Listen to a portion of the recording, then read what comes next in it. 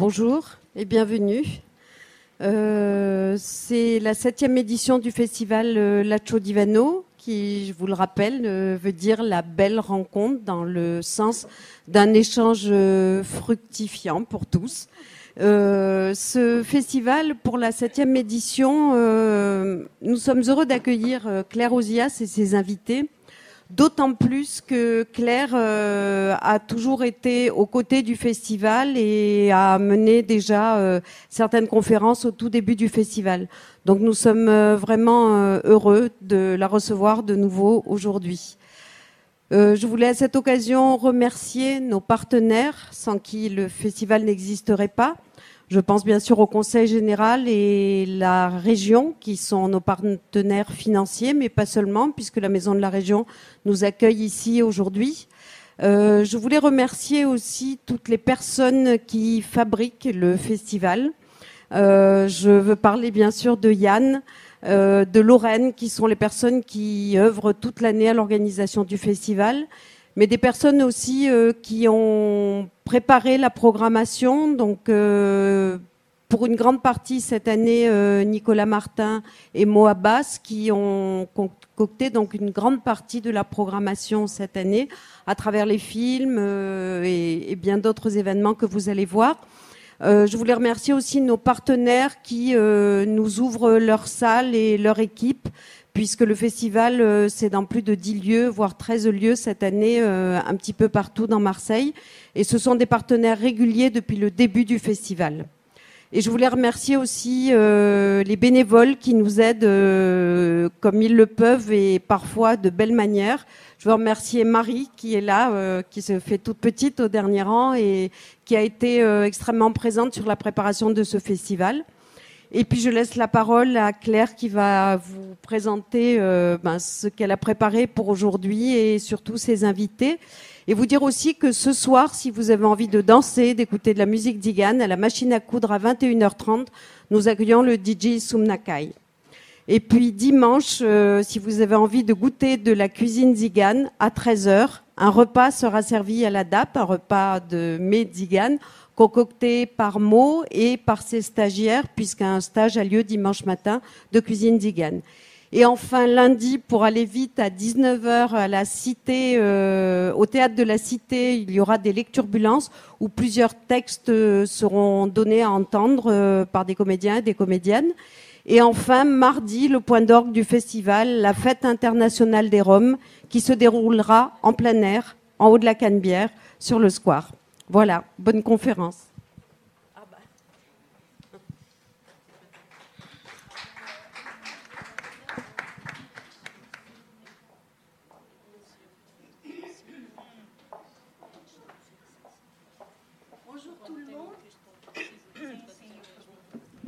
Merci au festival qui nous donne cette euh, opportunité qui n'est pas si fréquente de pouvoir euh, nous réunir avec euh, des femmes de divers pays qui euh, appartiennent explicitement, qui se proclament comme étant elles-mêmes roms ou gitanes ou ciganes et qui veulent bien parler au cours de conférences publiques des questions qui les préoccupent publiquement. Ces femmes que nous avons invitées, le festival cette année, ce sont, euh, par ordre, je dirais, euh, euh, d'ancienneté, Sarah Vasile, qui, voilà, qui parle très bien français. Sarah est roumaine. Elle fait ses premiers pas dans les réunions publiques et elle a 18 ans. Elle est en train de passer le baccalauréat. Ensuite, Margherita Carvalho. Margherita est portugaise. Euh, elle a déjà bien l'habitude des réunions internationales. Euh, et par chance, le festival a prévu une personne pour faire la traduction. Et donc, nous pourrons entendre Margarida ce matin, que je connais depuis Lisbonne et depuis d'autres réunions, nous parler de certains aspects de la vie euh, privée des femmes tziganes. Cet après-midi, nous avons la deuxième session de cette journée qui concerne la vie publique. Et cet après-midi, il y aura Olga Mariano qui est ici, qui est une militante très internationalement maintenant très connue, très active au Portugal et même au plan international, présidente de l'association Letras Nomadas, Agora, si, sim, hmm? mais elle se présentera elle-même. Nous avons également Carmen Carrillo Sada, qui est espagnole et qui est une militante euh, ancienne. Elle a signé le manifeste des femmes tziganes au Congrès européen de Séville en 1994. Elle en est l'une des initiatrices. Et je crois, elle nous dira cet après-midi qu'elle appartient à l'Institut de la culture gitane de Madrid. Et puis, Nora Costace, que je qualifie en privé de phénomène, que je connais depuis plus de 20 ans, qui est une militante importante, historique, convaincue des questions des Roms, euh, des, Roms en Roumanie et au plan international. Nous avons partagé beaucoup d'actions ensemble. Et puis nous aurons également une quatrième personne cet après-midi, Slavka, qui est bulgare mais vit en France depuis très longtemps. Ce matin, elle fait un atelier de langue romanie, mais cet après-midi, elle sera parmi nous pour parler des questions de vie publique auxquelles se confrontent les femmes roms. Alors, pour introduire les problèmes que vont nous, nous, présenter nos deux invités de ce matin, euh, qu'est-ce que, pourquoi vie privée? La question de la vie privée, ce n'est pas pour poser des questions indécentes aux gens. Nous parlons de problèmes de vie privée parce que dans le mouvement féministe, pour toutes les femmes de toute la Terre, ciganes ou pas ciganes, payas, gadji, il y a des problèmes de vie privée en tant que femmes. Nous avons des problèmes avec la maternité, nous avons des problèmes avec la vie conjugale, comment est-ce que l'on concilie la vie domestique et la vie professionnelle, comment est-ce que l'on planifie les naissances, comment est-ce que l'on on, se positionne avec la famille? Et ce sont ces questions que nous allons demander d'une manière pas formelle, librement, comme elles veulent, à nos deux invités de nous présenter quelles sont les euh, conditions d'une vie de femme jeune. Margherita est aussi une femme jeune, peut-être 35 ans, peut-être. Euh, Margarida est une femme célibataire et euh, évidemment, Sarah est aussi. Je vous dis évidemment, comme si c'était évident quand on est une femme tzigane dans le monde à 18 ans d'être célibataire. Non, ça n'est justement pas évident. Voilà, donc euh, je vous propose, après que nos invités aient commencé à nous présenter certains aspects, de poser également des questions selon vos préoccupations. Alors, euh, honneur à notre Benjamin, Sarah.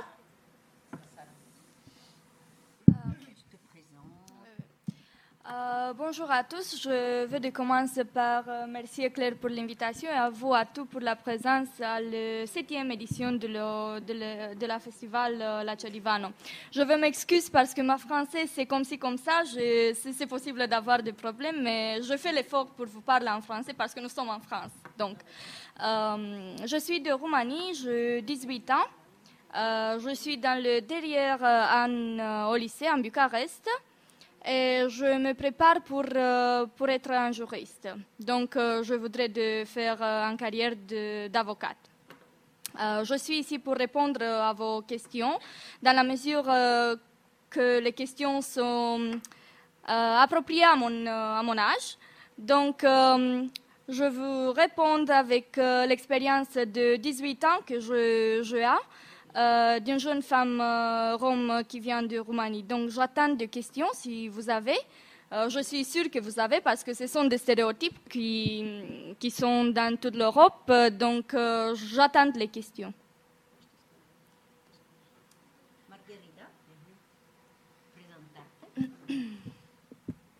Olá a todos, muito bom dia. Eu sou Margarida Carvalho, sou de Portugal e sou mediadora sociocultural. Bonjour, Euh, je suis Margaride, je viens de Portugal et je suis médiatrice socioculturelle. Neste momento estou desempregada, mas trabalhava numa escola e fazia a mediação entre a cultura cigana e os professores, eh, eh, educadores eh, e todas as pessoas precisassem da mediação, que conhecessem pouco da cultura cigana e então esse é o meu trabalho, fazer a ponte de ligação entre os ciganos e os não ciganos. Euh, je- pour l'instant, je n'ai plus de travail, mais jusqu'à présent, j'étais médiatrice pour assurer euh, la médiation entre la culture zigane et les médiateurs et les, et les professeurs ou animateurs pour qu'ils connaissent un peu plus de la culture zigane. Ah, eu tenho nono ano, ah, saí da escola na altura só com o quarto ano, Euh, elle, a, em pequena, sim. eh, elle est sortie de l'école juste avec le, la quatrième année, donc euh,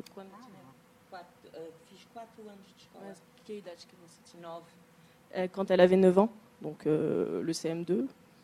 porque não nos, era, não, não nos era permitido andarmos na escola, as mulheres ciganas principalmente, não pelos da cultura cigana, mas sim pelos da nossa própria cultura. Os homens não permitiam que as mulheres ciganas andassem na escola mais de quatro anos. parce que euh, ça- les hommes de les hommes ziganes ne permettaient pas aux, aux femmes de rester à l'école plus que plus que jusqu'à 9 ans. Tudo o que consegui depois foi depois de adulta, já com estes, com tudo isto que se passou depois através de, com os ciganos, ah, consegui ir à escola e então aprender muito mais. Et elle a juste réussi à retourner à l'école quand elle était adulte et à apprendre beaucoup plus, mais une fois adulte. Ah, agora vou falar um bocadinho da vida das mulheres ciganas e a mulher cigana hoje em dia é uma mulher, são mulheres como em todo o mundo acho eu que trabalham até demais Euh, maintenant, elle va parler de la vie de la femme euh. Donc, euh, la femme zigane est une femme qui, comme dans le monde entier aujourd'hui, travaille beaucoup, beaucoup trop presque.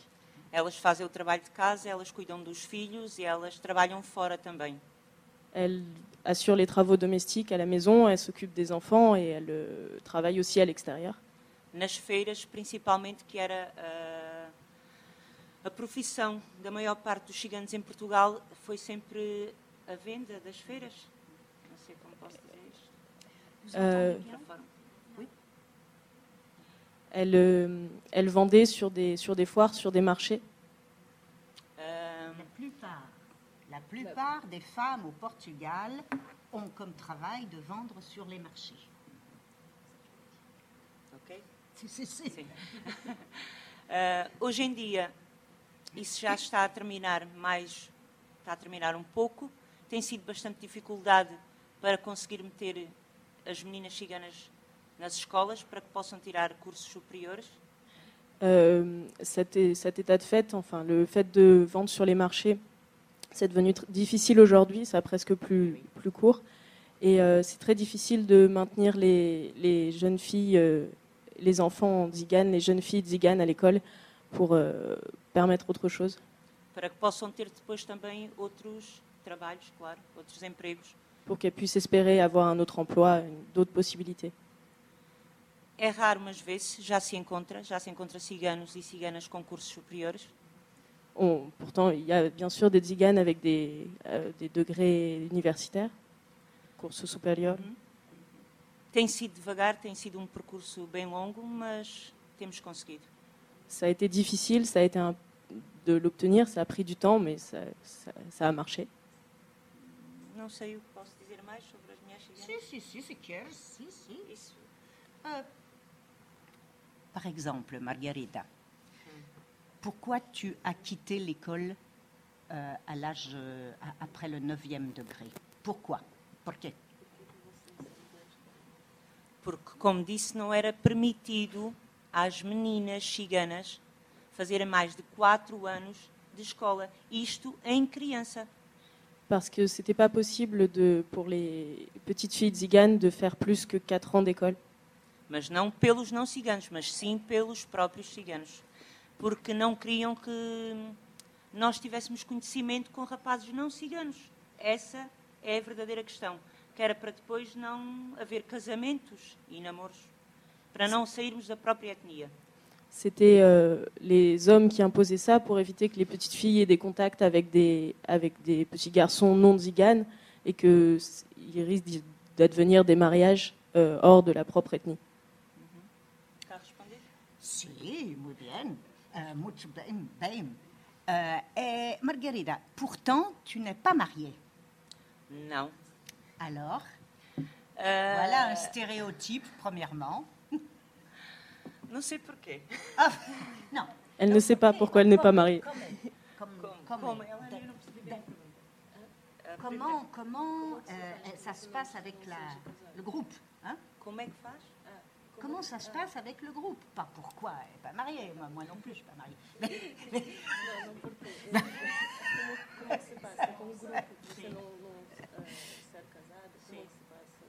Como é que eles aceitam? Isso. Et moi. Hum, Nós temos liberdade suficiente de escolha para querermos, se queremos casar, casamos, se não queremos, não casamos. Isso é um mito quando dizem que as mulheres ciganas são obrigadas a casar. É mentira. Euh, il y a quand même le choix, en fait. Parce que c'est un, c'est un mythe de dire que les femmes euh, ziganes sont obligées de se marier. E eu tive esta opção. Quis outras coisas. Na minha altura, como tenho, não me apresentei há bocado, tenho 46 anos. E já foi há alguns anos atrás. E hoje em dia tudo é muito mais permitido. Mas naquela altura tinha que ter a opção de escolha. Ou estudava ou casava. E então eu optei por estudar. Non, non percebi o início, desculpe. Ahm, ah, nós, a pergunta foi feita porque, porque é não, como é que me aceitavam o povo. E eu estou a dizer que o povo, nós temos a opção de escolha, podemos casar ou não casar. Sim. No meu caso, eu tinha que, naquela altura, como tenho 46 anos, já foi muito mais atrás e as coisas eram diferentes. Hoje em dia. E então, na altura, eu ou estudava ou casava. Se casasse, tinha de continuar com os filhos e já não podia ir à escola. Eu optei por casar e a vida profissional. Euh, elle a donc oui, il y a quand même le choix et elle a 46 ans, donc euh, elle a, il fallait choisir un moment entre la vie professionnelle et euh, se marier pour avoir et avoir des enfants. Donc euh, elle a fait ce choix-là. Ok? Obrigada, Margarida. C'est un très bon exemple. Excellent exemple pour euh, um- combattre les stéréotypes. Sim. Tá. Um exemplo que já está ultrapassado, porque hoje em dia já as coisas já não são assim. E estudar. C'est un, exemple qui en fait est dépassé parce qu'aujourd'hui c'est possible de se marier et d'étudier. À l'époque, c'était pas possible.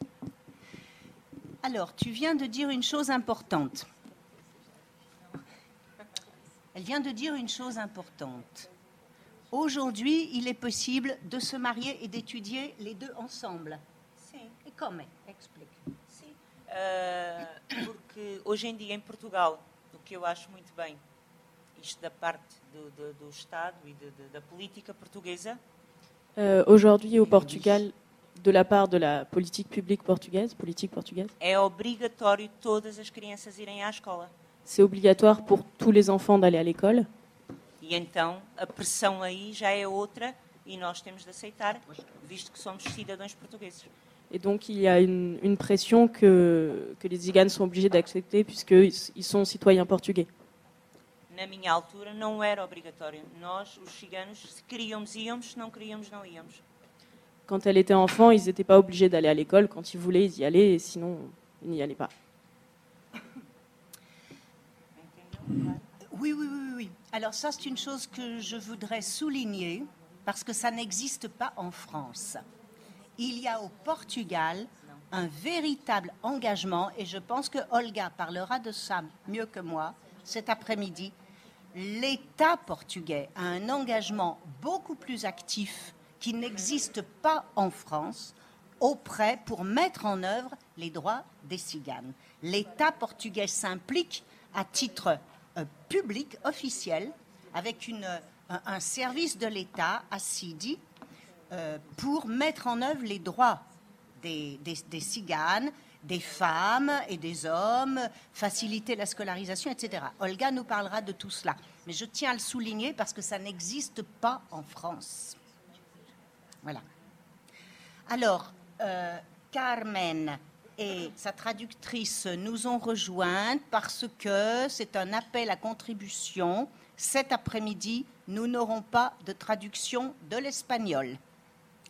Alors, si quelqu'un connaît une traduction, oui Cet après-midi Merci. Mais puisqu'elles sont là, je vais demander, de toute façon j'avais l'intention de demander euh, à Carmen d'intervenir et ce matin et cet après-midi, puisqu'elle est seule de son pays en Espagne, pour nous parler de la vie privée ce matin, publique cet après-midi. Mais avant, Carmen, pour favor, vous êtes là tout le matin, non? Oui. Bon. Alors, avant Carmen, je voudrais revenir à Sarah, parce que Sarah vous a dit, je suis à votre disposition pour vos questions. Alors, la première de mes questions, Madame. Margarida.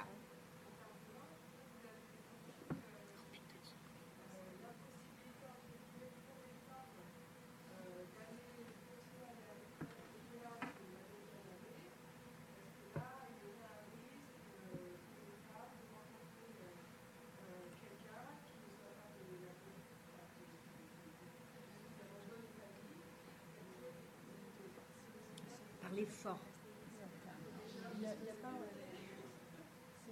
Le microphone. Ah oui, oui, oui, oui. Oui, oui, oui, oui,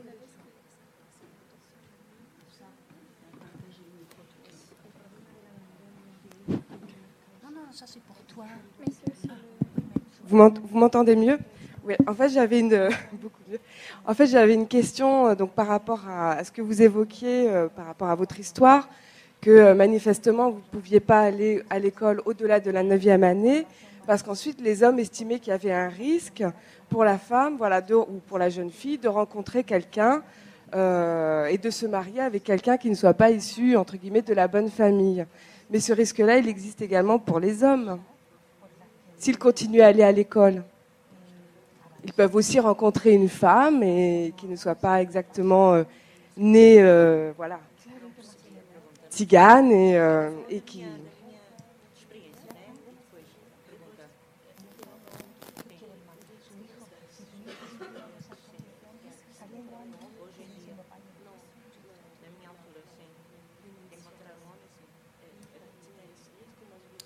Excusez-nous, mais il nous faut un petit temps de traduction, mais ça, c'est un enrichissement pour tout le monde de pouvoir partager les langues. Donc, Ah, só que é verdade, para os homens também existia esse risco, claro, só que na própria comunidade cigana ah, os homens podem sempre tudo. E as mulheres nunca podem nada. Euh, c'est vrai que ce risque existe, mais euh, dans la communauté tzigane, le- les femmes ne peuvent rien faire et les hommes peuvent toujours tout faire. Porque também tem a ver, tinha a ver ah, com a virgindade das mulheres. Et ça a à voir avec la virginité des femmes. Nós, para casarmos, temos de ser virgens, como toda a gente sabe, e, e esse era o risco que corríamos. Com os homens já não. Et euh, pour, se, pour se marier, les femmes doivent être, euh, doivent être vierges et c'est pas un risque que les hommes courent de perdre leur virginité et que ça se voit. parce qu'ils n'en ont pas.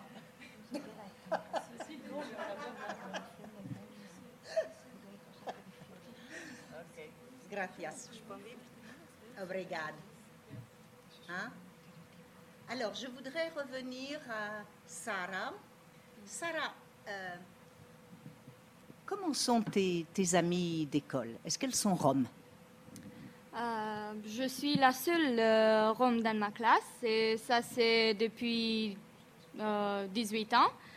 Euh, mais euh, ce sont, tu, tu te réfères si ce sont amables, si ce sont gentils, si j'avais des problèmes avec...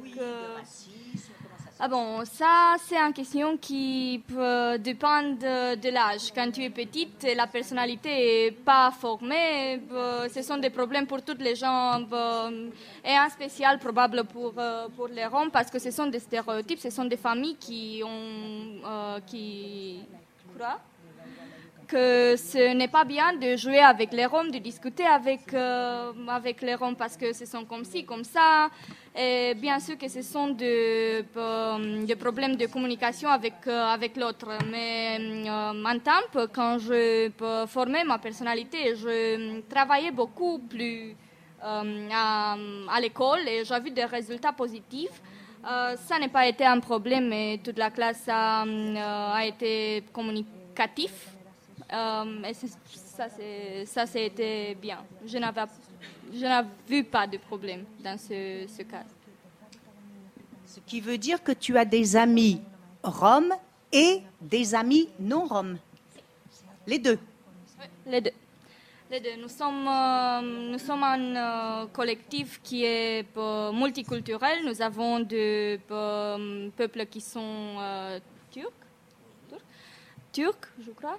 Euh, que se dit en, français, euh, moi que je suis rome et de, de roumain. Donc euh, l'école, c'est, si tu veux, multiculturel parce que ce sont des projets qui ont développé la multiculturalité et qui ont, comme on dit en anglais, raise awareness of this problem.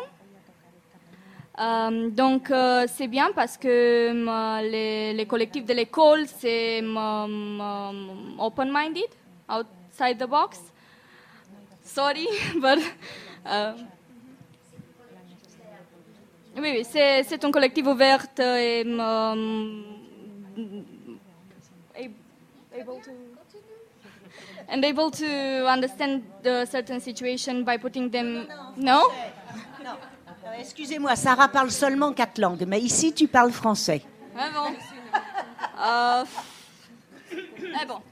Euh, c'est un collectif qui est disposé de, faire des projets pour euh, euh, enseigner l'autre quels sont les problèmes des Roms et comment sont les Roms en général. Donc j'espère que c'était bon.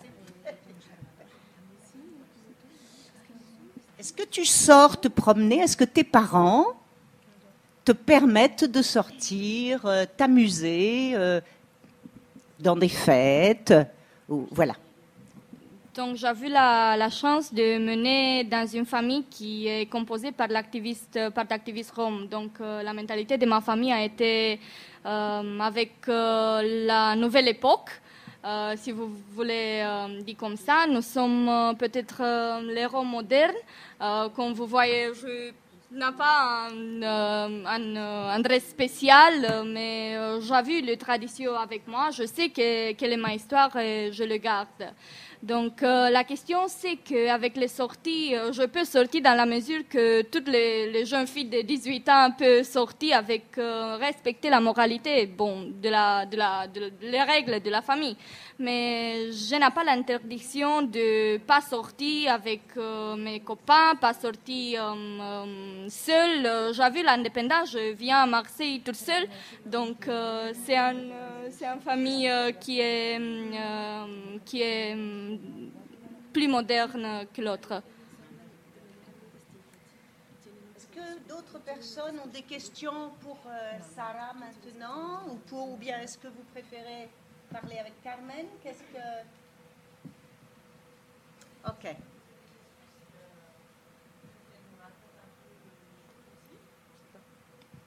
Je, trouve que c'est difficile de, de, lâcher tous nos stéréotypes comme ça dans l'arène. Peut-être que, enfin, peut-être on peut se raconter des choses et puis là les questions viendront. Je ne sais pas, Carmen. Euh, Peut-être elle a envie de nous dire des choses avant qu'on l'agresse avec toutes nos questions. Si les stéréotypes ne sont pas indécents, je pense qu'on peut les poser. Mais si vous devez rougir vous-même de vos stéréotypes, alors il vaut mieux ne pas les poser. Je, disais plus que c'est compliqué de poser des questions comme ça à, froid euh, sans avoir rencontré les, les personnes auxquelles nous aient peut-être dit ce qu'elles avaient envie de nous dire d'abord. La Chodivet, bonjour. Eh, merci. Gracias. al Festival Lacho Divano por poder estar hoy aquí en Marsella. Je remercie le Festival Lacho Divano de pouvoir être là aujourd'hui. Yo voy a contaros eh, algo que es imprescindible para la evolución de las familias y de las mujeres gitanas, la política. Je vais vous parler de quelque chose qui est in- incontournable pour l'évolution de la femme et de la famille, c'est la politique. Quiero felicitar a mi prima Sara, mi prima Margarita, a mi prima Claire, porque es una, es una mujer que no es gitana, pero trabaja por nosotras. A todos, gracias. Je veux remercier ma cousine, enfin mes, mes, mes cousines, euh, et Claire qui n'est pas une femme tzigane, mais euh, voilà, qui travaille avec nous. Felicitar a mi prima porque ha, ha podido conseguir que su hija tenga libertad intelectual. Je veux féliciter ma cousine présente qui a permis à sa fille d'avoir euh, cette liberté intellectuelle. Siento tristeza porque hoy, aquí en Marsella, a mí me gustaría ver ahí sentados a los políticos, los que hacen las políticas para los ciudadanos que no están. Je me sens triste parce qu'aujourd'hui, ce matin à Marseille, j'aurais souhaité voir des personnalités politiques assises ici. Et il n'y en a pas. Los gitanos y gitanas en el mundo, en Francia, en España, en Rumanía, en Checoslovaquia, en Alemania, en toda Europa, están sujetos a las políticas que hacen para ellos. En mi país yo puedo ser libre porque me han dado la oportunidad política de hacerlo. En Alemania y en Checoslovaquia y en otros países ahora mismo es imposible. Que- mais l'inicio de la frase Sí. Eh, voy a hablar más despacio entonces. Frases más cortas. Los gitanos estamos sujetos a las políticas que hacen en Europa. Ouais.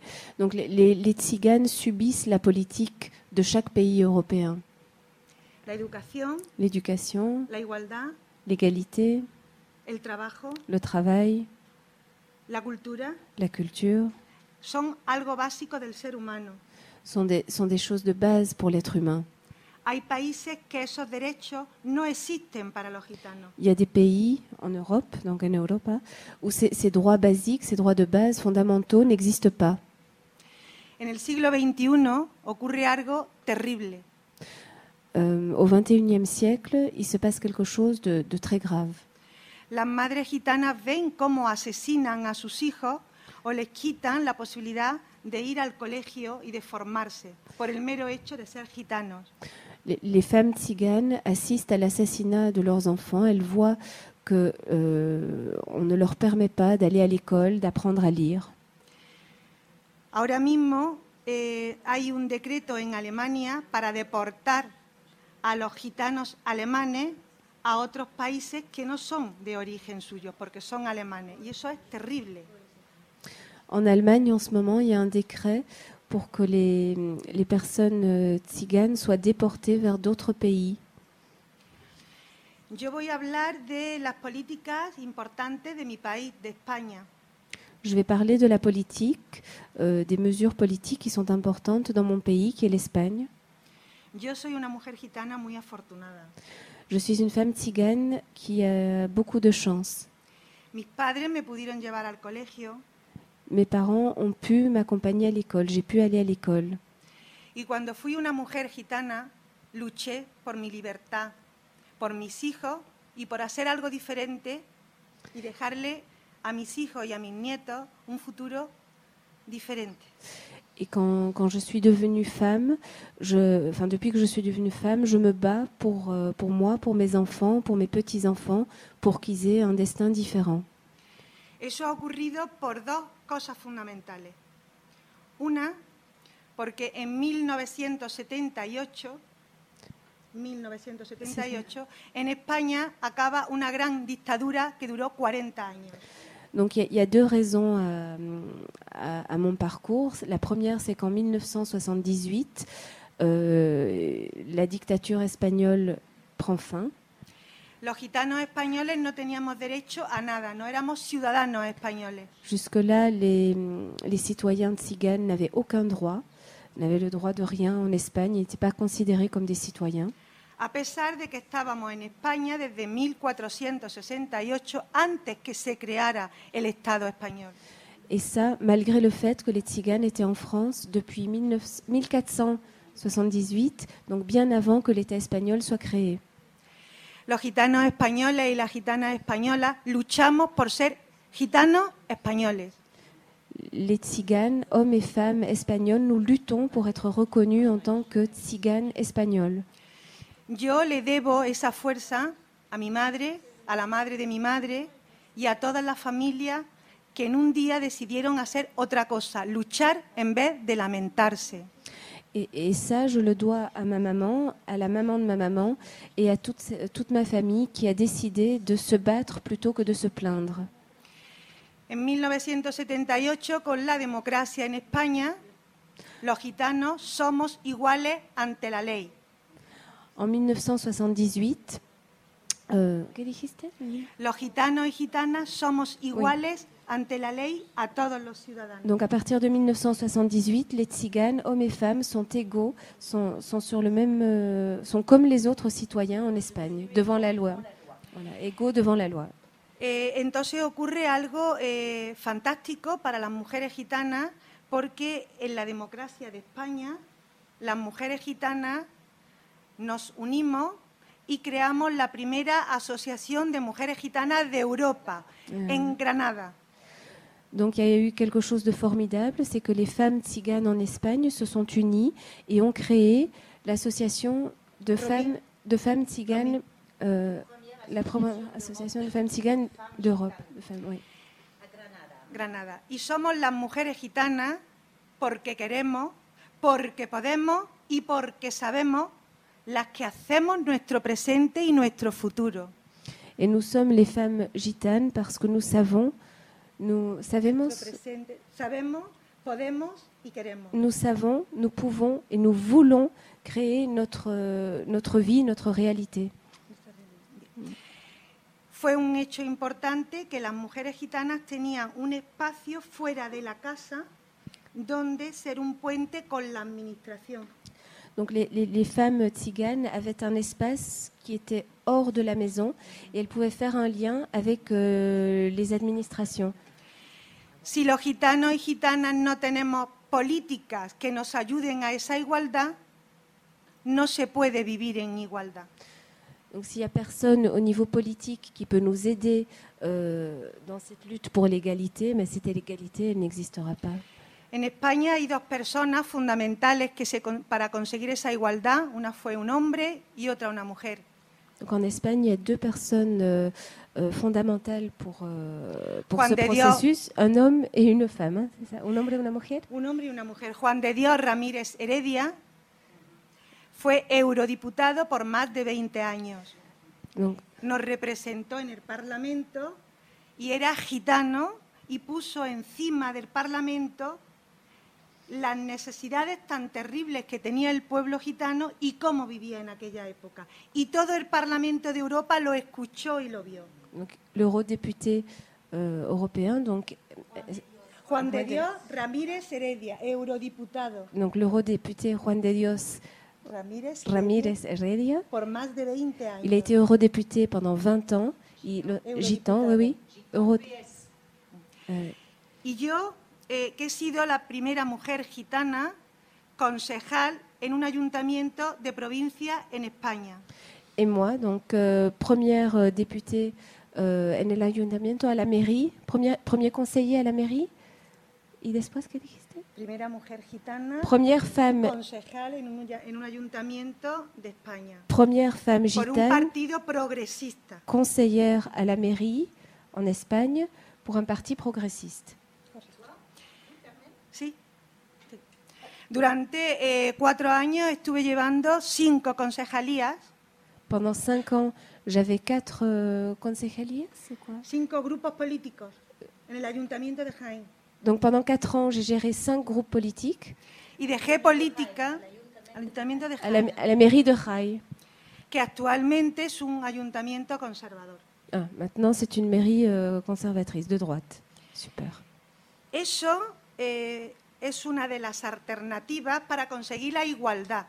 Donc ça, c'est une des alternatives pour obtenir l'égalité. Las mujeres gitanas no podemos luchar solas. Les femmes euh, gitanes, nous ne pouvons pas nous battre seules. Tenemos que tener el apoyo de todas vosotras, Nous porque avons- somos mujeres Nous avons besoin de- de- du soutien de, de, toutes, enfin de, de vous, parce que nous sommes des femmes. Pero sobre todo son las medidas políticas. Mais surtout, nous avons besoin de mesures politiques. Si en los programas electorales de los partidos políticos van excluir a la población gitana, para nada que se hable. Donc si, si dans les programmes électoraux, la, la population euh, gitane est exclue, ben, on ne peut rien faire. En la región de donde yo vengo, Andalucía, En Andalousie, la région de, el de gobierno, viens, el gobierno de Andalucía es diferente a los demás gobiernos porque puso encima de la mesa políticas para incluir a la minoría gitana, que somos la minoría autóctona del país. Donc la- la- le gouvernement andalou est, est différent des autres en Espagne parce qu'il a, il a mis en place une politique d'inclusion des minorités en Espagne. Euh, Pusieron el plan integrar para la comunidad gitana, donc ils ont mis en place le plan d'intégration pour la communauté gitane. contemplaba algo esencial, que era la plena escolarización infantil en los niños y niñas gitanas, que se consiguió al Avec- 100%. avec quelque chose de fondamental qui est la scolarisation de tous les enfants euh, tziganes et c'est obtenu. Maintenant, tous les enfants vont à l'école. Se trabajó en los estudios medios y superiores para las mujeres y los hombres gitanos. Il y a eu un grand travail euh, au niveau de- des études supérieures pour les hommes et les femmes euh, tziganes. El derecho a una vivienda digna, Le droit à une, euh, une vie euh, digne, des conditions de vie dignes.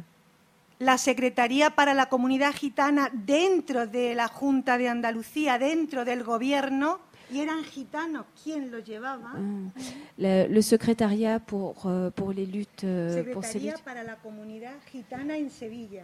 le, le secrétariat pour la communauté gitane à Séville était au sein du gouvernement et était mené par des, la municipalité. Gobierno, était- regional. voilà, du gouvernement Gouvernement régional. régional. Voilà, dans le gouvernement régional, il était mené par des, par des tziganes. Y en Granada se crea el Centro Gitano Andaluz. Et à Grenade, donc, a été créé le centre, euh, Centro Gitano Andaluz. le centre gitan d'Andalousie. Que la directora no es una gachí, Ah, que la, la es una directrice, gitana abogada. la directrice, Fernández. la directrice étant une femme tzigane avocate. En España tenemos eh, directores de centros gitanos y gitanas. Donc en Espagne, il y a des directeurs de centres euh, gitans. Mi segunda profesión viene de la rama sanitaria. Yo he trabajado en un hospital público en Córdoba. Moi, j'ai travaillé dans un hôpital public à Cordoba. C'est ma deuxième profession. Eh, hay mujeres gitanas eh, licenciadas en Derecho, en Trabajo Social, en diferentes ocupaciones que trabajan en el sistema público. Donc il y a beaucoup de femmes gitanes qui travaillent euh, pour le service public, en droit, en sciences sociales. euh, Esa es la igualdad. Et c'est ça l'égalité. Esas mujeres, sus hijos no están en la calle. Ces femmes et leurs enfants ne sont plus dans la rue, ne sont pas dans la rue. Sus hijas están en la universidad. Ces femmes et leurs filles sont à l'université. Y la única diferencia con la sociedad mayoritaria es que tenemos una cultura diferente. Et la- notre seule différence avec la, la communauté majoritaire, c'est que nous avons une culture différente.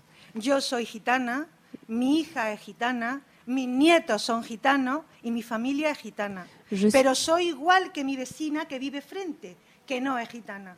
Tenemos la misma vida. Je suis gitane, ma fille est gitane, mes petits-enfants sont gitans, ma famille est gitane, mais je suis exactement la même que ma voisine de palier, qui elle n'est pas gitane, mais nous vivons de la même façon. Y yo moriré luchando por mi gente, porque algún día tendremos que conseguir esa igualdad. A pesar que en España hemos tenido un gran retroceso con las políticas conservadoras que tenemos ahora mismo. Moi, je, je mourirai euh, en me battant pour cette égalité. Euh, al inicio, ¿qué dijiste? En España hemos tenido un retroceso. Oui, donc maintenant, il y a vraiment un retour en arrière avec le gouvernement euh, de droite en Espagne, le gouvernement conservateur. A mí me ha costado mucho luchar por ser gitana, Ça a été difficile pour moi de me battre pour être gitane. pero desde aquí le dejo el mensaje a las personas que no lo son, que detrás de cada mujer gitana que consigue su meta hay otra mujer que no es gitana, una maestra, una amiga, una vecina, un político que le ha ayudado. Je voudrais vous laisser le message suivant, c'est que euh, derrière chaque femme gitane qui arrive à quelque chose, euh, il y a une autre femme qui n'est pas gitane, sa voisine, sa professeure, une amie, quelqu'un qui l'a aidée dans son parcours, sur le chemin.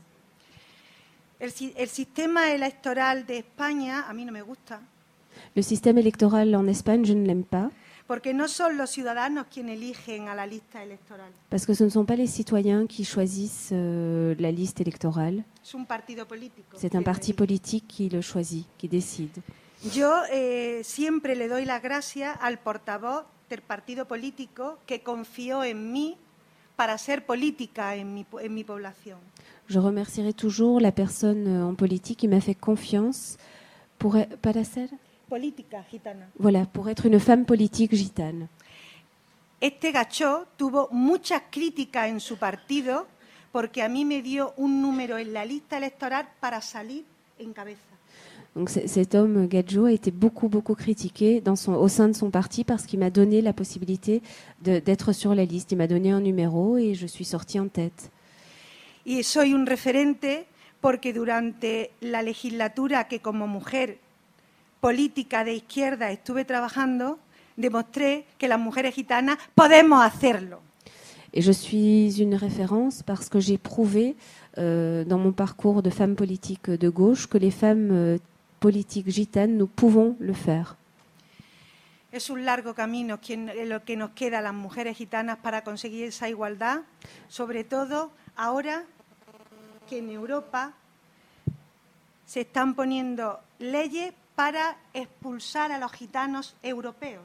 C'est un long parcours encore qui nous reste euh, aux femmes gitanes pour, euh, pour obtenir pleinement ce- cette égalité, surtout maintenant en Europe avec toutes les lois qui se mettent en place pour, euh, pour exclure les tziganes. Si los gitanos no tienen trabajo, no pueden alimentar a sus familias. Si les, tziganes, si les gitans n'ont pas de travail, ils ne peuvent pas nourrir leur famille. Et ça se passe euh, dans toute l'Europe, ça, et en Espagne aussi. Antes el- teníamos un 30% de exclusión y ahora hay casi un 80%. Avant, il y avait 30% d'exclusion et maintenant on arrive à 80%. Han desaparecido todos los proyectos de intervención social Tous les projets d'intervention sociale ont disparu y los gitanos que antes pertenecían a la clase media et les tziganes qui avant faisaient partie de la classe moyenne son pobres, no tienen para vivir. sont très pauvres et n'ont pas de quoi vivre.